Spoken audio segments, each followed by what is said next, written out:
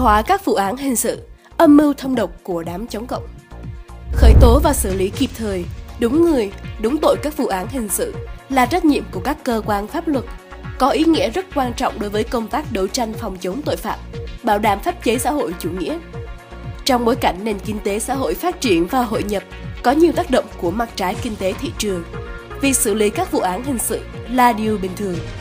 Thế nhưng vừa qua, các thế lực thù địch, phản động lại tìm cách lợi dụng, bóp méo, thổi phồng, hòng hướng lái chính trị hóa các vụ án hình sự. Đây là một trong những thủ đoạn nham hiểm nhằm chống phá đảng, nhà nước và nhân dân ta. Mới đây, nhân việc cơ quan cảnh sát điều tra Bộ Công an khởi tố vụ án hình sự một doanh nghiệp tư nhân, khởi tố vụ án, khởi tố bị can, ra lệnh bắt tạm giam, khám xét với một chủ doanh nghiệp để điều tra về tội buôn lậu, theo Điều 188 Bộ Luật Hình sự 2015, đã xuất hiện nhiều thông tin suy diễn, đồn đoán theo kiểu thầy bói xem voi về sự việc. Dù đây chỉ là một vụ án hình sự được thông tin rõ ràng, đầy đủ trên báo chí, nhưng lại được một số phân tử đêm đặt thành vấn đề chính trị. Họ gán ghép vụ án bị khởi tố với nhiều thông tin mang tính cóp nhặt, rồi đồn đoán rằng đây là những dấu hiệu của việc thanh trừng nội bộ trước hội nghị lần thứ 10 của Ban chấp hành Trung ương Đảng và sẽ có nhiều củi vào lò. Một số trang báo hải ngoại vẫn với cái nhìn lệch lạc về Việt Nam đã có bài viết xuyên tạc bản chất nền kinh tế thị trường định hướng xã hội chủ nghĩa khi cho rằng ở Việt Nam muốn làm giàu phải được bảo kê và khi sinh mệnh chính trị của người bảo kê bị lung lay thì số phận của doanh nghiệp cũng rất mong manh. Nhiều bài viết trên mạng xã hội chuyển sang suy diễn, xuyên tạc rằng nhiều doanh nghiệp được nuôi béo đã tới lúc làm thịt. Do ăn chi với các quan chức bảo kê không sòng phẳng nên bị trả đũa. Rồi đây là cạnh tranh giữa các nhóm quan chức đang bảo kê với nhau. Đó chỉ là những suy diễn lung tung, hoàn toàn trái ngược với thực tế xử lý các vụ án hình sự luôn hết sức chặt chẽ, đúng người, đúng tội. Không để các vụ án hình sự bị hướng lái chính trị hóa. Một vụ án hình sự khác được dư luận quan tâm là vụ Nguyễn Hữu Linh, nguyên phó viện trưởng Viện Kiểm sát Nhân dân thành phố Đà Nẵng đã bị khởi tố về hành vi dâm ô đối với người dưới 16 tuổi, theo Điều 146 Bộ Luật Hình sự năm 2015. Đây là sự việc gây bức xúc dư luận xã hội và đã được cơ quan bảo vệ pháp luật khởi tố theo các quy định luật tố tụng hình sự. Song lợi dụng vụ việc này, nhiều đối tượng cực đoan đã bẻ lái vấn đề sang xuyên tạc hệ thống tư pháp và chế độ xã hội chủ nghĩa ở Việt Nam.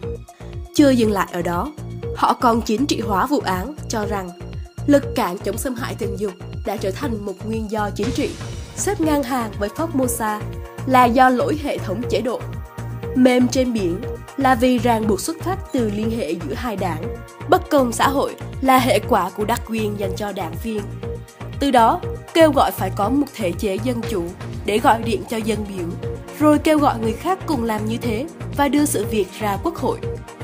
Từ suy diễn kiểu này, họ chuyển sang công kích quốc hội chỉ là chiếc áo choàng dân chủ. Đến bôi đen chế độ xã hội chủ nghĩa và kỷ luật đảng.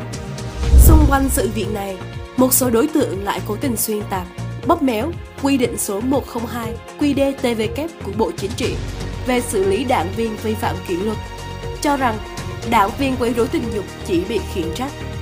Đài Á Châu Tự Do đã có bài viết xuyên tạc đảng viên quấy rối tình dục dưới mọi hình thức chỉ bị khiển trách. Đài này viện dẫn điểm C khoảng 1, điều 33, quy định số 102 QĐ-TVK về xử lý kỷ luật đảng viên vi phạm.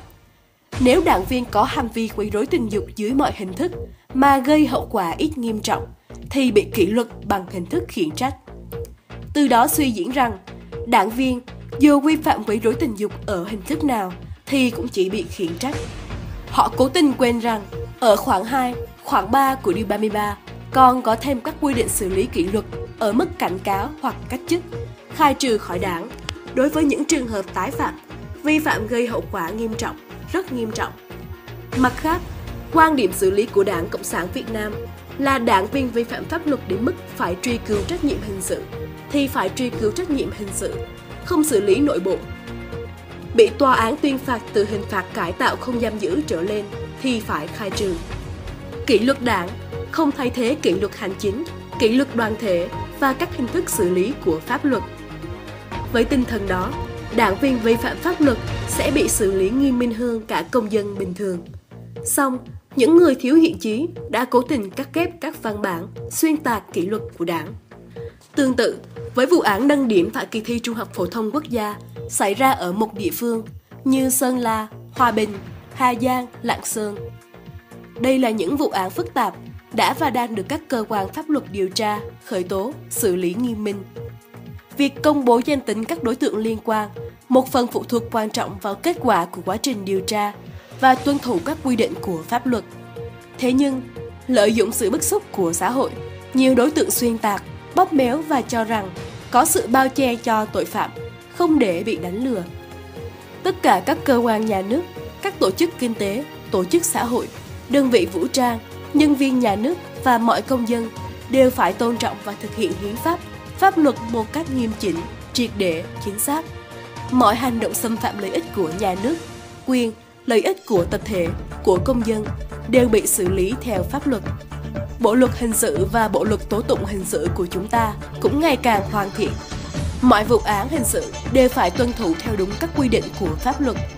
Vì vậy, việc xuyên tạc, bóp méo, bẻ lá các vụ việc đơn lẻ thành những vấn đề chính trị, đao to búa lớn để chống phá đảng, nhà nước, bôi nhọ chế độ xã hội chủ nghĩa, thực chất chính là hành vi sai trái cả về pháp lý và đạo lý, cần phải được ngăn chặn và xử lý nghiêm minh. Chính trị hóa vụ án hình sự là thủ đoạn hết sức nham hiểm mà chúng ta cần cảnh giác và kiên quyết đấu tranh làm thất bại. Đối với chính quyền và các cơ quan pháp luật, việc xử lý nghiêm minh, công khai và thông tin đầy đủ, kịp thời về các vụ án hình sự, nhất là các vụ án tham nhũng, tiêu cực được dư luận quan tâm, sẽ là vũ khí mạnh mẽ đẩy lùi mọi thông tin xuyên tạc.